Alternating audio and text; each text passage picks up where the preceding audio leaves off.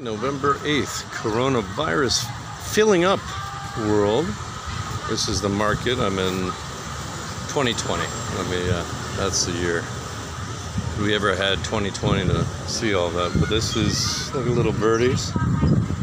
So this is for family, friends, if they ever care about my existence. but this is a nice little market. I think they're open every day, but a beautiful uh, Riverside. This is called the Riverside. Nice little walk. I think it goes on for a couple miles. Of course, the river, it's part of the Mekong overflow. So the color is not that great, but otherwise it's a nice stroll. I'm going to try to make it uh, all the way that way.